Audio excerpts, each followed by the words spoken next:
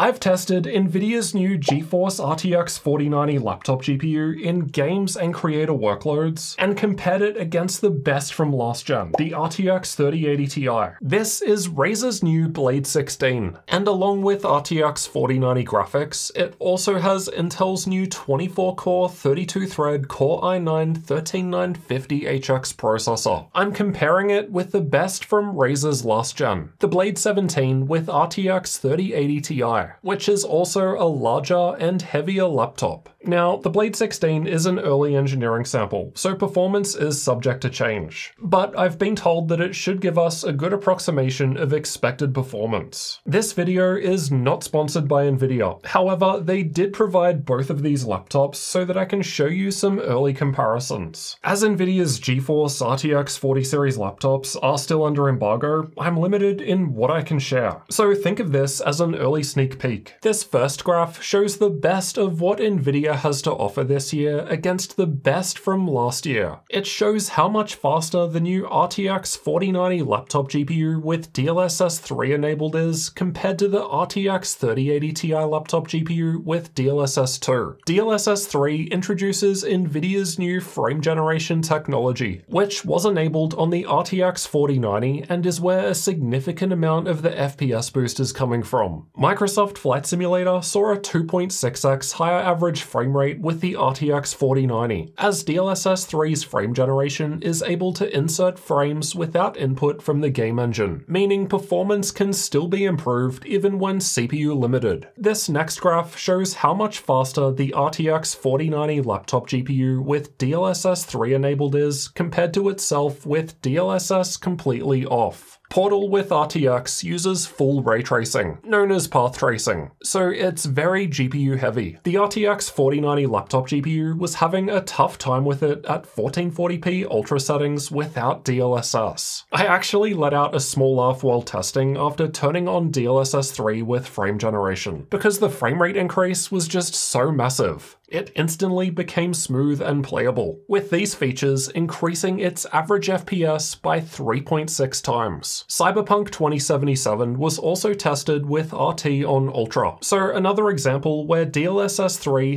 helps in GPU-heavy games. This next graph shows the latency difference with the RTX 4090 laptop GPU in the same game selection with DLSS 3 on versus off. Negative values are better here, as they show a reduction in latency, which is the amount of time between mouse click and when the image actually changes on screen. Four of the five games tested see a latency reduction with DLSS 3 on, as DLSS 3 requires NVIDIA's reflex to be enabled. To be fair, you can enable reflex without DLSS, but my DLSS off results were tested with reflex off, as requested by NVIDIA for this comparison. Latency got worse and increased in Microsoft's Flight Simulator by about 12%, but as we just saw, DLSS 3 almost doubled average FPS in this game, which I think is a worthwhile trade-off, as I don't think a little higher latency matters much in this game. Early third-party testing initially showed an increase in latency and other visual artifacts from frame generation in games like Cyberpunk 2077, but at CES 2023, Nvidia have already shown improvements with DLSS 3 in this game with an upcoming update, resulting in a smoother image with clearer text. My Cyberpunk testing was done with that upcoming update, and I think it's pretty cool that it can improve over time with ongoing training on Nvidia's AI supercomputer. From my own testing here, I can't say that I noticed any obvious problems or differences between DLSS 3 off and on with frame generation. That said, I'm not much of a pixel peeper, and I haven't spent any time analyzing these games frame by frame. I don't know about you, but when I play a game, as long as it looks and feels fine, then it's all good. My eyes might be getting 60, 100, even 300 FPS per second in some cases. So even if the results from frame generation aren't perfect, in the games I tested, it was only a positive experience for me. There is an argument that 100 FPS with native rendering should look better and have less latency compared to 100 FPS coming from DLSS 3 with frame generation. Visual differences between frame generation on and and off mean that you're not necessarily comparing the same thing, which is fair, but I'm not sure how else to measure these improvements. It was making the overall experience better, especially in games like Portal RTX. Frame generation lets me run it maxed out with RTFX on a laptop. And it's gaming laptops in particular where I think this new feature is going to be interesting, as they continue to get higher resolution and higher refresh rate screens this generation. Higher resolution means you need more GPU power to run games, and higher refresh rate means that ideally you also need more power to hit high FPS to take advantage of it. Thermals and power are just far more constrained in the smaller laptop form factor compared to a desktop PC, so this is a useful way to get more out of what we've got at least in supported games. On January 3rd, 2023, Nvidia announced at CES that DLSS 3 is present in 17 games, with another 33 games and apps on the way soon. Unfortunately, I'm not able to show rasterization performance differences at this time. All we've got so far is this image provided by Nvidia during their CES presentation. It shows two games without DLSS 3 reaching around 50% higher average FPS on the RTX RTX 4090 laptop GPU compared to a last-gen RTX 3080 Ti laptop. Just before we get into more tests, we need to talk about the CPU difference between these laptops. The older Blade 17 with RTX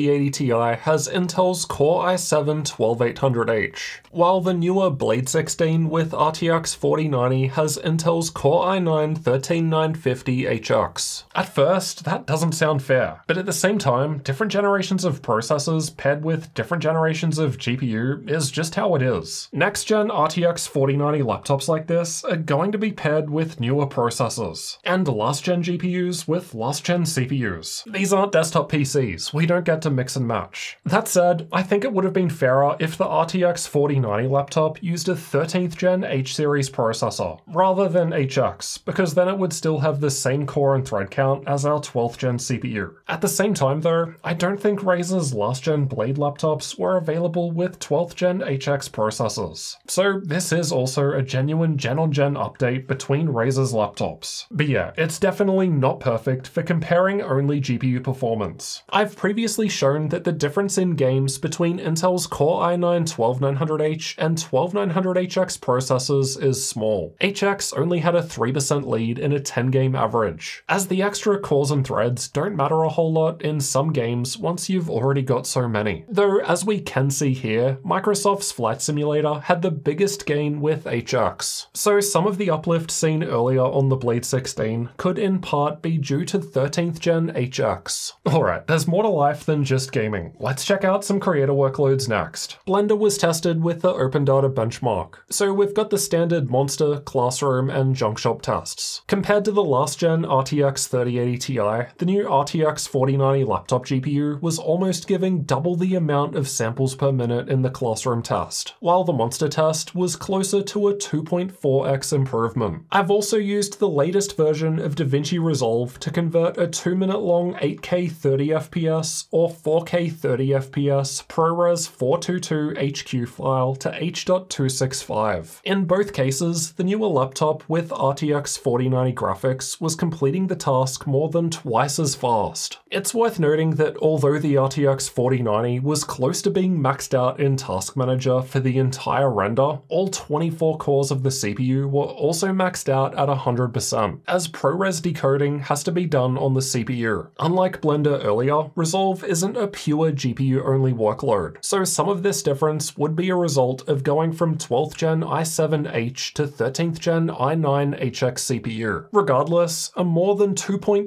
speedup is quite a nice gen-on-gen -gen boost from Razer's Blade series. Both the RTX 4080 and RTX 4090 laptop GPUs have two NVENC encoders, and in supported workloads, this will split the frames in half and send each to an encoder. Basically, this should make them faster at encoding compared to the RTX 4070 and below. And of course, the 40 series also adds AV1 support. Overall, the performance on offer from this new gaming laptop is excellent compared to what we've previously had available. That said, pricing of such high-end options containing the RTX 4090 is yet to be seen. Do not expect this hardware to come cheap. The addition of DLSS 3 looks useful for laptops in supported games, and it's only going to get better with updates. I'll be comparing laptops with RTX 40 series GPUs in way more games with and without DLSS as soon as I can. Make sure that you're subscribed. Until then, you can find out about all the new gaming laptops coming out this year over here. There's even a 14 inch laptop with an RTX 4090, so I'll see you in one of those next.